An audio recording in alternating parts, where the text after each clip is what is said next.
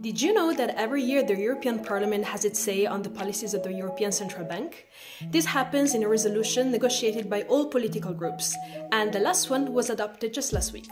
This year's report is historic because it offers a solution to the long neglected secondary mandate of the European Central Bank. The secondary mandate requires the ECB to support EU economic policy objectives when it implements monetary policy. This is a task the central bank cannot always do itself, as a non elected institution that is not meant to make political choices. The issue is that the law refers to many objectives, such as the protection of the environment and full employment, but it doesn't tell the ECB how to implement or prioritize them.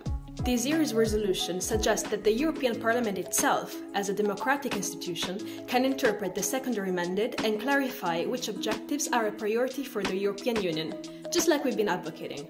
Follow us on social media for more insights on central banking.